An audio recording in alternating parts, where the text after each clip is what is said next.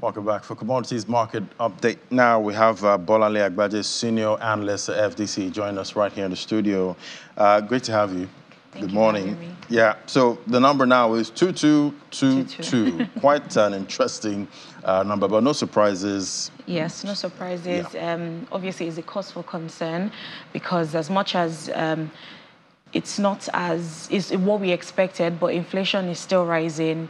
Prices are still sticky, and um, it seems like the hikes in interest rates they've done so far, policy rates they've done so far, has had little impact. So we can say the, this inflation has defied yes, interest seems, rate hikes. Yes, it seems like it. Um, and you know, one thing I've heard is um, the IMF actually mentioned that usually policy rates, after about three to four years, the impact on um, inflation, if you're still if you're still focusing on that particular um, rate of inflation that's keep that, that keeps going up, it has it definitely now has minimal impact on it. So um, it would be nice for the central bank to look for other supportive measures to you know help to bring down this particular inflation rate. It's not necessarily great, and um, what we had seen in the past month was the fact that you know food prices was the ma major contributor to this. Although you still have those structural issues that keep lingering with transportation and, you know, fuel prices, all of that still, you know, having its impact on um, prices generally in the economy. Uh, we're seeing, you know, other climbs. you know, inflation is either, you know, slowing or um, having some kind of but deceleration. Still, still very but still high. high. Yes. You know, but at least we're seeing some kind of Yes, so obviously, you know, when it comes to our economy, comparing it to, you know, what's happening in the West, we're still very far behind in terms of our structures. And um, so it would definitely be, be worse for us in this country, just because it's not just about, you know, the pandemic or the war affecting, you know, prices and which obviously led to, you know, the wage spiral effect in other countries. Right here, unemployment levels are at record highs. You know, you're, you're having some deficiencies in major industries that have that have contributed to or made the prices linger and still, you know, going up. And one important thing as well is the expectations. Right now, everyone in the economy expects that prices would remain high just because you're seeing major costs that are contributing to uh, major um, aspects of businesses remaining high as well. So those expectations also feed into the final um, prices that we see in the market. All right, uh, break down the um, data for us that we see uh, core inflation is highest yes. level since May 2004, higher than most estimates. Um, looking at the, the data overall, mm -hmm. are there any positives? Um, so, while core inflation increased from 19.86% to 20.14. Food inflation also increased from 24.45 to 24.61%. Um, so, from there, it's clear that you know food inflation is the one, the major driver. But one important aspect to look at is the month on month. So the month on month probably tells you, you know, whether the hike in price was significant or not. So month on month actually increased um, to about 1.91 percent, which is a cause for concern. But at the end of the day, when we look at what the, the activities in the month of April, we had seen two celebrations that don't necessarily happen within the same month happening. So you, you've had that extra, you know, buzz with prices. And um, so going forward, it means that right now, obviously, we're entering the planting season, so we do expect that prices would increase as normal in previous years. But um, we do hope that it, the, the rate at which it increases, so following the month on month um, increases, shouldn't be as much as um, what we had seen so far. Because when I go into the stores, it, feels higher than 22.22. And I know you go into the stores yourself, you go to the market. Well, we, we do. feel really as high. As economists, we, we definitely have to like focus on the data that you know we're seeing at the moment because they have there are ways that you know the inflation numbers are being calculated. Um, but um, definitely you would feel that because it's it's it's directly what's going into your mouth. So exactly. and you're, fe- you're, you're feeling it based on your uh, dependent on the salary you earn every month. So it will bite hard definitely. But um, we've all said this. This year is going to be a tough year for Nigerians. Um, we've seen so many Already unexpected proving to be tough. It's, and it's, it's, most likely going to remain tough most likely till the end of the year. Um, and we, what we do hope is that as this new administration comes in in two two weeks, um, they get right into business and focus on targeting those areas that are making the economy um, as weak as we see it at this point. And, and looking at you know all of this um, data, how much can the average consumer still take?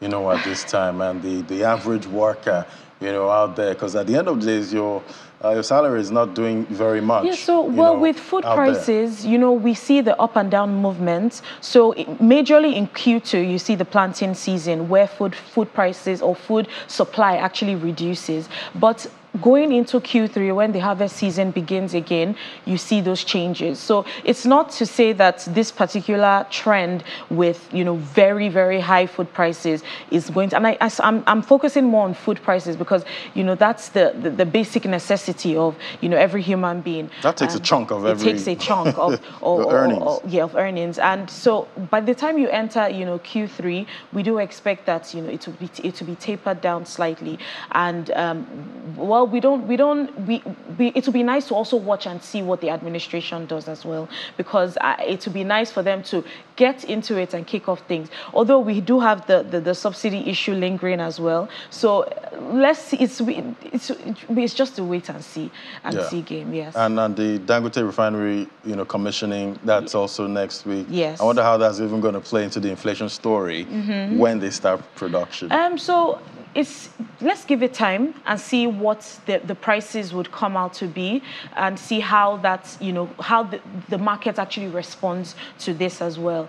Um, one thing we do know is that the cost of production generally not just dangote refinery generally for any you know industry is very high at the moment and that will be fed into the prices of whatever their product the final product is. So um, it would just be nice to see what dangote does in terms of managing you know the costs and creating a situation where the, the final product that we get is better than what we're you know importing at the moment. That'll be that'll be quite um, great for sure. But now um, I want you to look into your crystal ball. It's May. What are you expecting? We've had 22.22 for April. What are you seeing in May? So obviously, like I mentioned, in May we're still in the heart of the planting season. So it's most likely that inflation numbers will definitely you know inch up. We don't know. It it, it, it might not be as much as what we've seen now, but um, it will definitely be going up because that's just what the fundamentals are saying.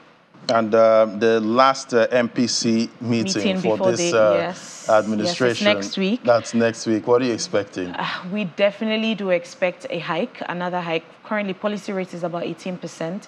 Um, so even, even if we're trying to be um, conservative and there's no hike, definitely maintaining status quo. So it's between one of the two, but we're leaning more towards the hike because the last time inflation numbers were around this number was in 2005. And at that point, policy rate was 13%. And that was just because we had the debt forgiveness and the completeness at that time. But right now, things are very different. So it's, it, I'm sure the central bank um, the committee wouldn't sit back and watch, you know, inflation go out of um, out, of the ranges that they had, you know, predicted. And also the fact that, you know, in other countries in the West, inflation numbers are actually coming down now. And the impact of the hikes in interest rates is feeding into the market. But we're yet to see that within nigeria. So as much as the hike is expected it would be nice to see where where where those why those channels are not feeding into um, the domestic economy. And it's quite interesting, you know, in the U.S. we've seen the impact of the hikes, not yes. just on inflation, where they even ignored, their, you know, the banking crisis the, the banking as well, crisis. because you can see the priority that they have when it terms when it comes to inflation numbers. Uh, and it's quite interesting. Uh, what what can we say for sure? The interest rate hikes right here in Nigeria is really impacting well, the banks, for one, you know, would feel the impact immediately, but um, I think there's probably a disconnect somewhere where the the interest rates it's not necessarily translating into um, or, or, feeding into um, the inflation numbers. Because um, ordinarily, when you have those hikes in um, interest rate savings, you should have more savings within the banks, but that's not the case at the moment. Nobody is saving. I, will be surprised to see, you know, Niger most Nigerians, in fact, the educated Nigerians are more or less saving abroad. Um, you don't have, you know, those saving rates in within. And I guess it's because the saving rates are not as attractive as they're supposed to be. So there's quite a disconnect there. And um, so I, am sure those are one of the reasons why you're not seeing that translation. But the central bank probably knows, they know where the faults are, and I'm sure they're working as hard to make sure that they, they, they solve that problem as soon uh, And with the cash crunch in the first quarter yes. of 2023, it'd be interesting to see how deposits you know, growing at this yes, time. Yes, yes. Because yes. obviously Nigerians will have a quite a. but let's look at oil um, oil markets now. We see prices are up today. Yes. We've had the same trend. You know, it's up today, it's down tomorrow. Same uh, uh, um, issue we're seeing in that in that space mm-hmm. at the mm-hmm. time. Yeah. So right now. Um, the U.S. mentioned that they're trying to increase their strategic reserve um, by about 3 million barrels. So that already signaled um, a, a, supply concern in the market. So that's why we're seeing that uptick at the moment. But going forward, the supply issue will definitely follow because towards the middle Q3, Q4, you see a lot of piling up of some of those resources. And when that happens, that translates into higher prices as well. And also the fact that, you know, we're seeing a, a depreciation of the dollar, that also translated into higher prices for oil. So it's still the, the normal fundamentals that are driving prices up and down, but the supply concerns still weigh in on prices. And um, we do expect that prices will be ranging from 75 to about $80 per barrel. Going, forward. forward. yes. And uh, we, don't, we don't have a 50 range? No, I think that's been or extremely lower pessimistic. 60. no lower 60. Except something um, significant happens, um, maybe to do with the big uh, uh, the, the, the, big uh, producers, Russia, Saudi Arabia. So that's what can really drive prices lower. But I, at this point, I don't see that happening in the near term. All right. How are the domestic uh, markets looking, you know, with this inflation data of 22.22? Yeah, so dom- the domestic market is is inching upwards as we're entering the planting season.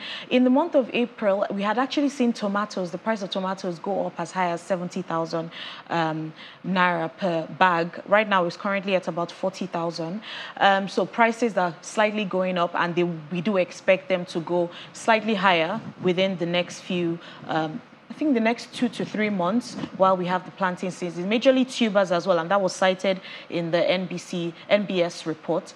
Um, so that's the range for prices that we're seeing at the moment. It'll be interesting to see price stability again sometime because it's uh, the conversation from 2022 into 2023, rising prices, like rising I mentioned, prices. price stickiness is a major issue here.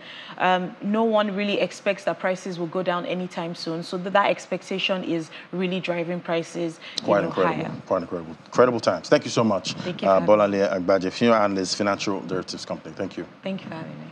All right.